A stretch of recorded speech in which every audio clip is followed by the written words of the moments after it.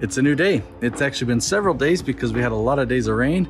So I wanted to wait for things to dry up and uh, warm up just a little bit.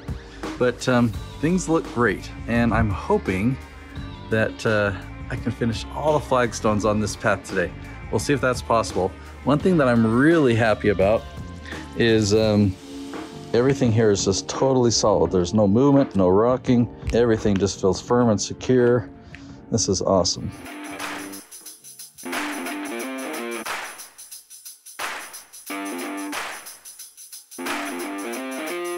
So I saw this large flagstone earlier and uh, figured, ooh, that's a right angle. It looks like it might fit in that corner really well.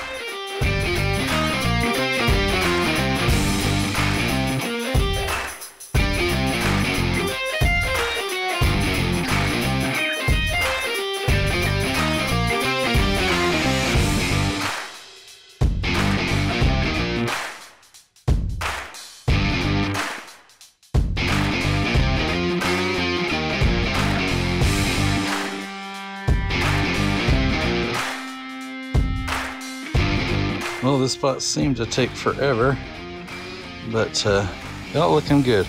Put some pieces in there, got them secure, but I just couldn't fill in the gaps in the way that I like, so I pulled out some pieces and tried fresh, and I think it turned out pretty good now.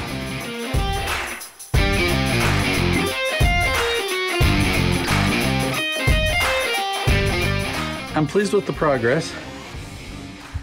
Um, I love putting in the huge pieces because you just make so much progress with one piece. And my first experience with big pieces, I thought they were harder, but they're actually easier now that I kind of have a feel for it. I found that when a rock is wobbly, if you dig out underneath the center and kind of build up the edges, just ever so slightly, that tends to work out all the wiggles. And then as you saw me pour the crushed granite in between and stomp on it and sweep it away and stomp on it some more, just trying to pack it in there good and solid.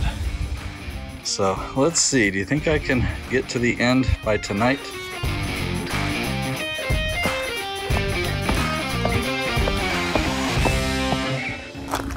I didn't think this big rock had any wobble. I want to put the camera on it, it sure does. Okay, that one seems good. This is what I'm looking at.